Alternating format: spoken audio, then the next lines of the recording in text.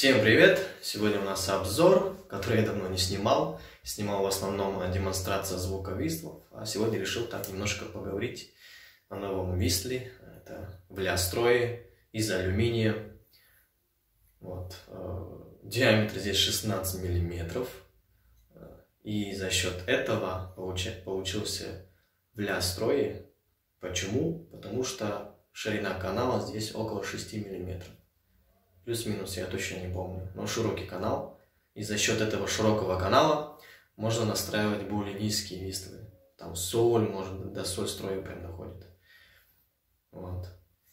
Ну, по длине у нас а, 401 миллиметр, я уже измерял, знаю. Диаметр, как я говорил, наружный 16 миллиметров и толщина стенок 1 миллиметр.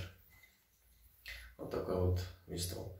Свисток снимается, вставляется. Можно промывать, продувать. Есть своя подстройка. Когда до конца вставляешь свисток, а, строй а, висит. Если назад оттягиваешь, естественно, уже ловишь э, ровный стандартный строй, нужный.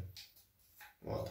Это очень удобно при смене климата, когда вистел э, замерзает или наоборот нагревается.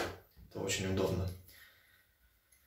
Так, сам э, свисток делается из ПЛА пластика, печатаю на 3D принтере. Вот, качество здесь хорошее стоит, где-то около 0,15 выставлял э, высоту слоя. Естественно, он такой гладенький, блестящий. Получился хороший свисток. Так, ну, минус у пластика в том, что он будет с высокой температурой удерживать до 40 градусов тепла, что выше уже начинает мягчеть. Там, это. Поэтому нужно будет осторожно, не оставлять на солнце, в машине в горячую, в горячей воде, там, в кипятке. А так он безопасный, не ядовитый, он экологически чистый продукт. Делается из э, сахарного тростника, кукурузы. В общем, очень хороший пластик. Так, ну, еще раз поиграю.